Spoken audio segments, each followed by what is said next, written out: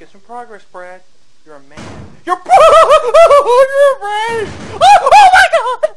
Oh my god! Oh my god!